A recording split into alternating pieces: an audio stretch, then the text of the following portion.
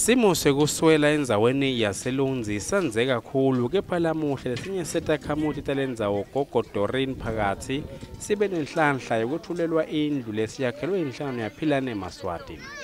Gogo phakathi uphindze wakhelwe ingadzi lefakwe netitshalo. Lesipho sethulwe ngusihlalo walenhlangano Lutho Dlamini egameni lendlovukazi Mhlekazi.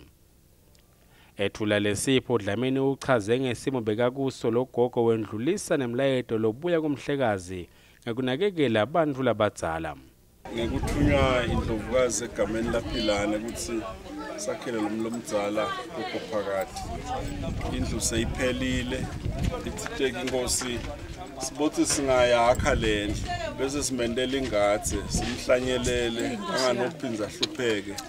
Sitowuthula loko kokubili namhla ukuthi nayo indlu yakho gogo inkosi ithi asikunike tikhiya siyethemba ukuthi utawuphila kahle uphile kamnanzi sivile noko kwekuthi nasifika la usichazele ilunga lephalamende kuthi akusiyo yedwa gogo. Baningi labantu labadzala vele labaswele letindzawo tekuhlala labaswele naletingadze sesimniketile ke minisa sicinisekiso sekuthi sibikile lenkosini kuzivele lokuhlupheka kuningi Eh, sibonga nje kakhulu ukuthi kule ndzawo yakho minisa kuphuma sonke lesive sitolekelela lapha nje saletha umakhi kuphela bonke lebe babhuca ludzaka balithathile ngilesive sala. Umuntu uthi akakubonge egameni laphilane nokuthi ke gogo seyakho le ndlu. Ithi tindlovukazi ngikunike uhlale khona uphumule nawe ulunzele lolo suku lomele simlizele sekatibongela gogo phakathi akawuvali umlomo ngalolu sitho lobuya kumhlekazi. Ngibonga kakhulu magwalagwala lamahle ngiyamangala. Ukuthi lo- lokuhle lokunjengaloku ngoba nami sengiyawufela endlini.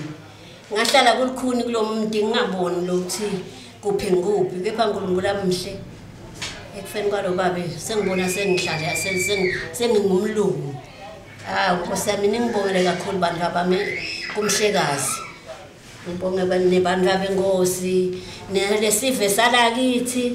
Lebe singikhathalela ngendlela ngingaboni ukuthi ngithathani ngibhicanani babona bobabe bakhona betana boshukela netingwa eh netimpuphu nalabo makhi. Bangibeketelela kakhulu ngingaboni ukuthi ngiphekani ngibabone sebakhona. Ba- badla kona lokho nje lelo lide lesilidlayo nkosi yami.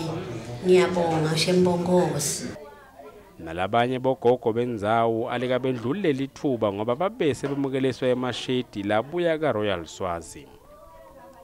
Lilunga lephalamende liphiwa inkosi igeninza nalo lingetele gogo phakathi tipho. Nathi-ke singumndeni wakamabuza sithi awu amane gogo akhamule nendlu yakhe nganatitsha wekunene eh alopheka letimnandi